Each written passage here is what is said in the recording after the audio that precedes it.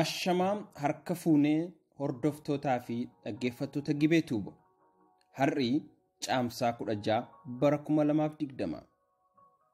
Ibsa ajajaa olaanaa waraana bilisummaa Oromoo yookiin ABO irraa nu qaqqabee sagaleedhaan isiniifan dhiyeessaa ana waliin tura.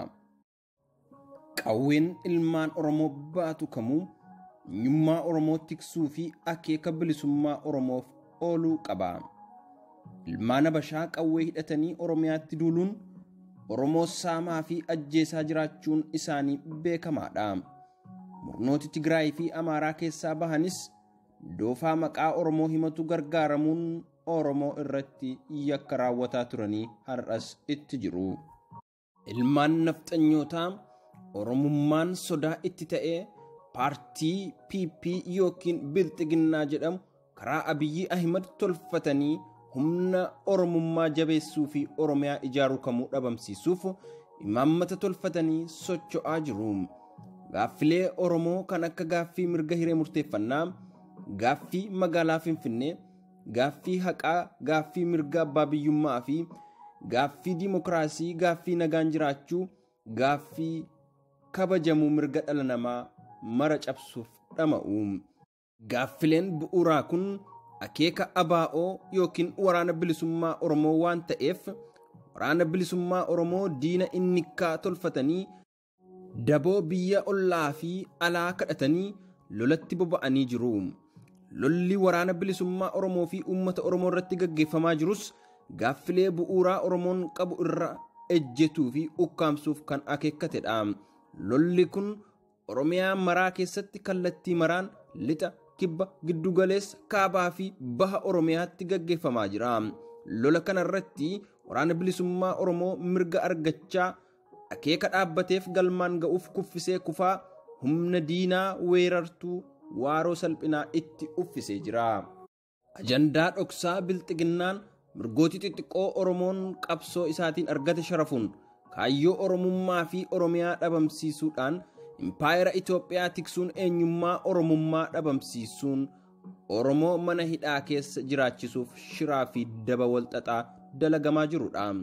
Akkuma minilik Oromoo ajjees harka mure, harma mure, manaa fi qabeenya gube saamee hiyyoomse ammas Oromoo gabrummaa haaraa jala galchuuf yakkii fi shirri guddaan hoggana Abiyyi jalatti raawwatamaa jira. Tooftaa bilxiginnaa jaarmiyaa siyaasa Oromoo biyyatti deebisuun tooftaadhaan Oromoo qooduun warraaqsa Oromoo fashalsuuf tattaafatu hundi isaatu Oromoo harqota gabrummaa jala tursuuf kan wixanamee turedha.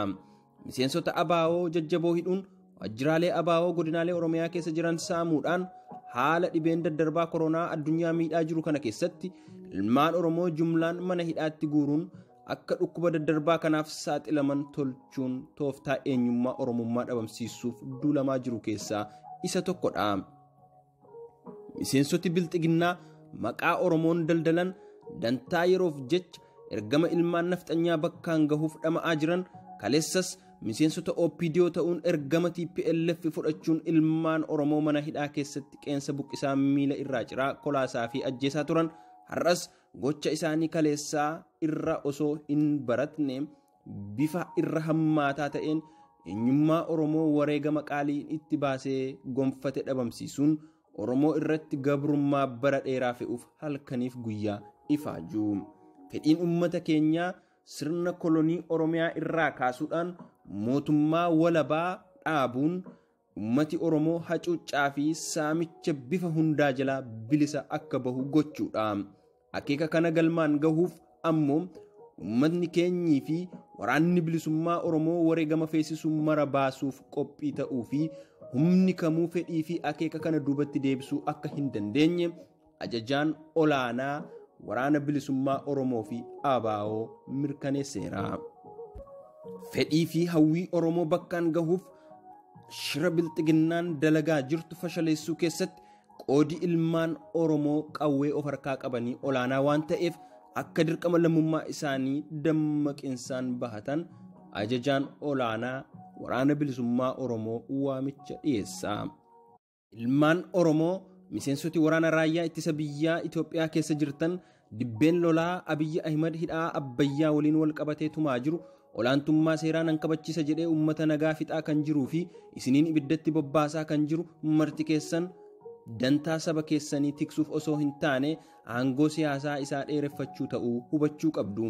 Kanaaf ilmaan Oromoo raayyaa ittisa biyyaa keessa jirtan dantaa nam tokkee fi ilmaan nafxanyootaa tiksuuf du'anii baduun fafa ta'uu hubachuun bilisummaa sabaa fi walabummaa biyyaaf akka falmattan akkasumas meeshaan harkaa qabdan kan abbaa irree uummata keessan fixaa jiruu fi isin irratti gooftaa ta'uuf hawwu of irraa kaasuuf gootummaadhaan qabsoo uummata keessaniitti makamtanii seenaa boonsaa akka hojjettan ajajaan olaanaa waraana bilisummaa oromoo waamicha lammummaa isiniif dhiyeessa.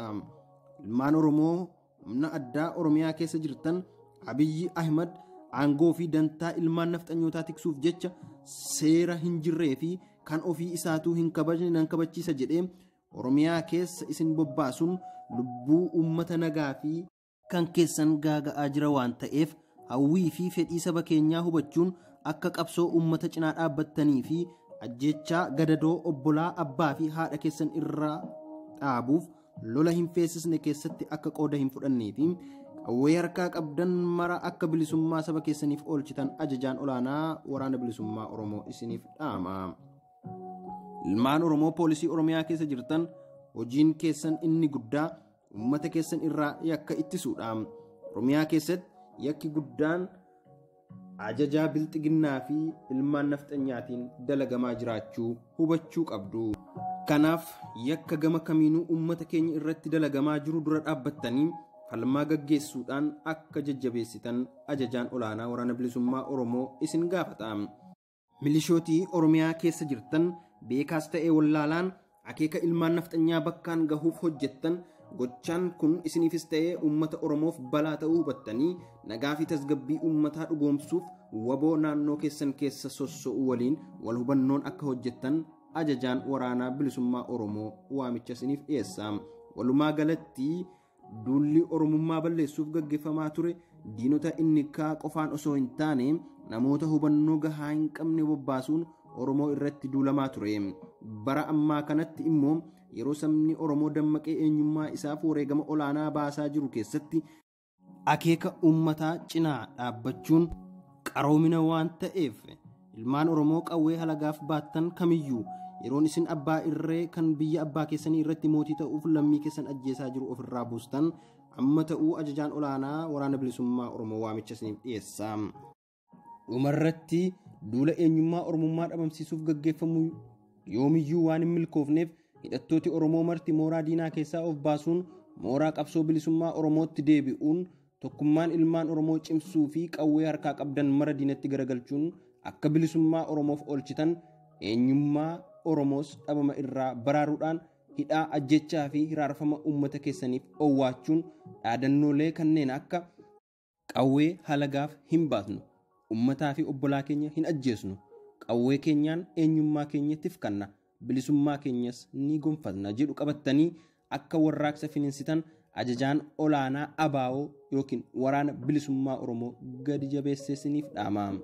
Injifannoon uummata oromoo fi ajajaa olaanaa waraana bilisummaa oromoo caamsaa 15 bara 2020 qopheessee kan siniif dhiyeesse an lateeraadha. Qophii keenya gara biraatiin hanga walitti deebinutti nagaan nuuf tura.